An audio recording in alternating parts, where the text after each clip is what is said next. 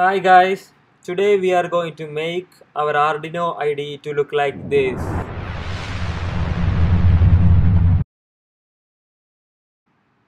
Okay, so let's start.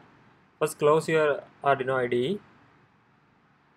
Then go to my blog to dark theme for Arduino IDE post.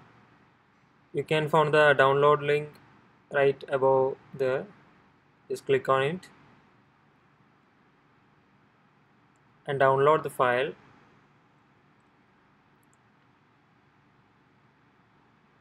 Go to your download folder.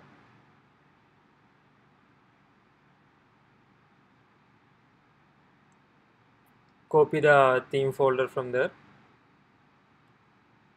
Copy theme. Just go to applications.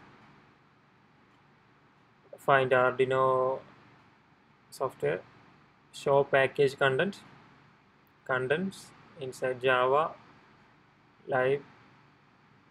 This is our old theme folder. Just rename it to theme dot old in case you want to revert it back to the old theme. Copy our new theme folder here. Now open your IDE and see the magic.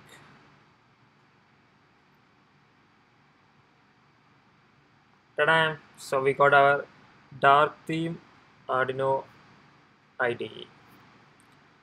So thanks for watching guys. Please don't forget to subscribe. And uh, of course for Windows users you can get your folder path from here. For Linux users also you can copy your theme folder to this path.